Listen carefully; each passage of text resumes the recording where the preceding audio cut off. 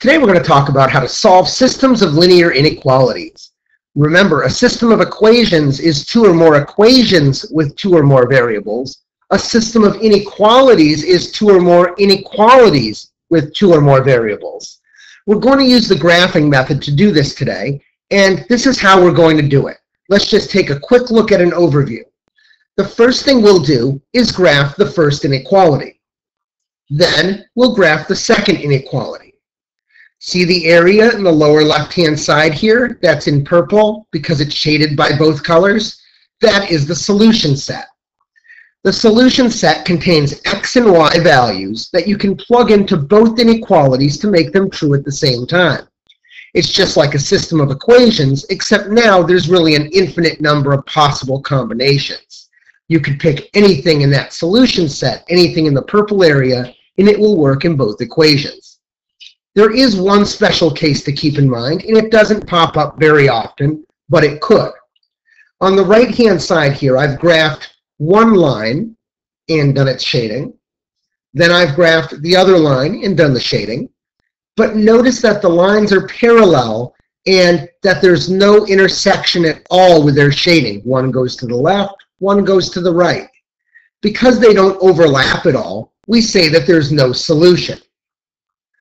Now, let's take a look at some examples of this. As we work through the examples, you may find it necessary to pause the video as we go so that you can do things like construct the graph. I may go through the graph pretty quickly because I know at this point you know how to graph an inequality. However, as we're going, so that your notes are complete, you should pause the video and do some graphing for each example that we do. In the first example, we have y is greater than x, and y is less than 2x plus 3. This is a system of inequalities. There's two or more inequalities with two or more variables. I begin by graphing the first inequality. y is greater than x. I constructed the line. It was a dashed line because y is greater than, not equal to. And I did the shading. I put my pencil on the line. Greater than makes me think of going up, and I knew where to shade.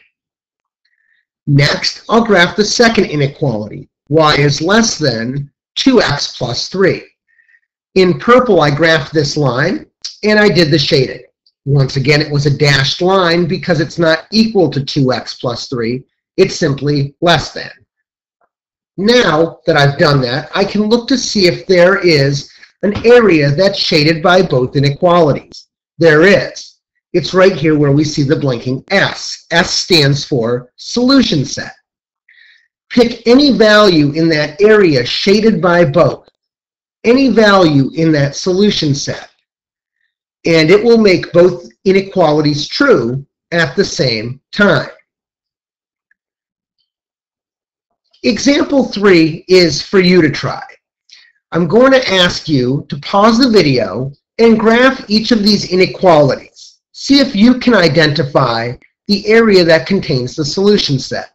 Then come on back. We'll take a look at how you did. Let's see how you did.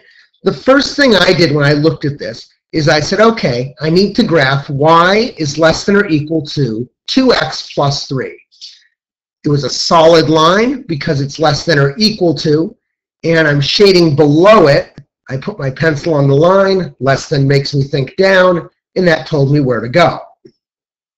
Then I graphed the line y is greater than or equal to negative x, and I did that in red. Now I look for the area shaded by both colors. Do you see an area that is shaded by both colors? Well, here it's the purple one. The purple area is the solution set to the system of inequalities pick any value in there, and it will make both equations true at the same time. The next example that I'd like to look at is example 8. Example 8 is a little bit strange. Here, I have to get them into slope-intercept form, which I know how to do. I subtracted x from both sides on the first one, divided by negative 1. And remember, when you divide, the inequality symbol flips. I did the same kind of thing to the second one, and I ended up, once again, with y is greater than or equal to x plus 2. Both of them are the same inequality.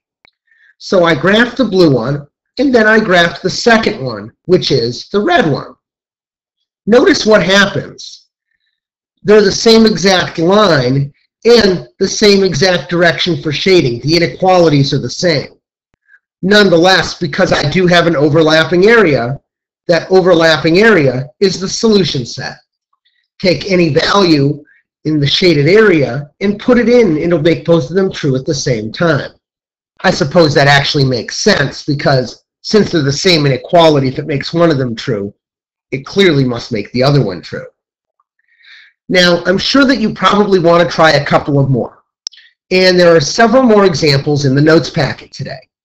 Remember, the solutions are on the website under Notes and Home Fund Packets. I recommend that you try you know, one or two more examples, just see how you do, and go on to the website under Notes and Home Fund Packets and check your work against the answers that are there. That way, if you have any questions, you'll be ready to go and you can ask when class starts tomorrow. This is everything you need to know about solving systems of linear inequalities.